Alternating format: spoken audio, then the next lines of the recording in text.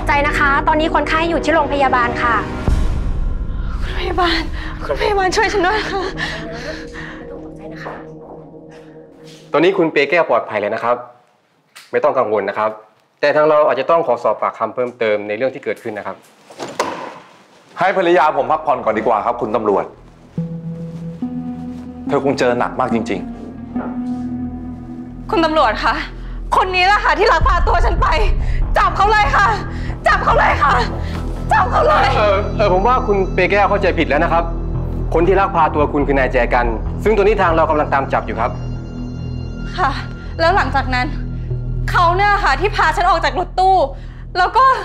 แล้วก็พาไปที่บ้านเสียสกล จับเขาเลยค่ะ คุณตำรวจคนนี้แหละค่ะ คือคนร้ายๆไปกันใหญ่แล้วนะเปลคุณตำรวจคะฉันขอแจ้งความจับเขาค่ะ จับเขาเลยค่ะ เออใจเย็นๆก่อนนะครับ คุณเปแก้วเมื่อกี้คุณบอกว่ามีคนพาคุณออกมาจากรถตู้คันนั้นเหรอครับ ใช่ค่ะ แล้วหลังจากนั้นเขาก็พาฉันไปหาเสียสกล แล้วก็ข่มขู่ทำร้ายร่างกาย แล้วก็บังคับให้ฉันเซ็นเอกสารด้วยอะค่ะ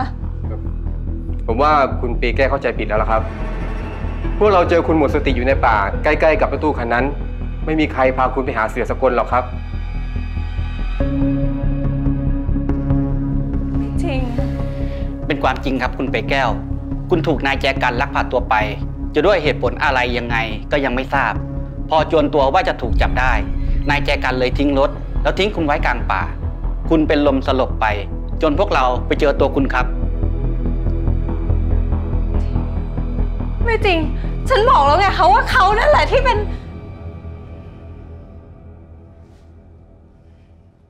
นี่พวกคุณก็ร่วมมือกับมันใช่ไหมพวกคุณก็ ไปกล่าวหาคุณตำรวจเขาไปพร่อย อาจจะเจอหมิ่นประมาทเราได้นะ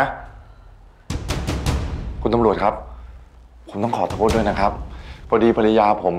เขาเพิ่งเจอเรื่องร้ายๆมา สมองยังไม่ค่อยปกตินะครับ ไม่เป็นไรครับ พวกผมเข้าใจ ยังไงก็ขอให้หายไวๆนะครับ คุณเปแก้ว พวกผมขอตัวก่อนครับ ขอบคุณนะครับ ครับ ขอบคุณครับ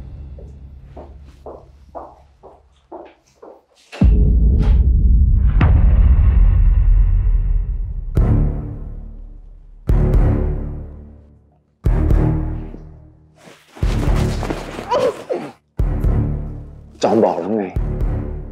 ว่าเสี่ยเขาทำได้หมดแหละ ยอมแพ้เสียจะเปลและจากนี้ไปเนี่ยเปลก็ทำตัวดีๆด้วยล่ะเปลอย่าลืมนะ ว่าเปลเซ็นมอบอำนาจให้จอมแล้ว จอมจะเปลี่ยนมรดกของเปลให้กลายเป็นสิทธิสมรส แล้วถ้าเปลอยากหย่าเนี่ย เราก็ต้องแบ่งกัน หรือถ้าเปไม่อยากหย่าเราก็ต้องเป็นผัวเมียกันต่อไป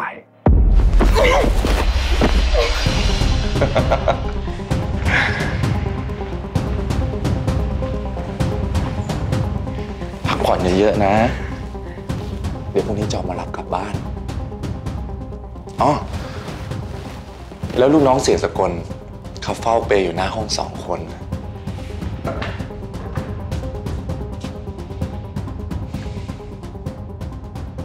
มีอะไรก็รียกใช้นะครับ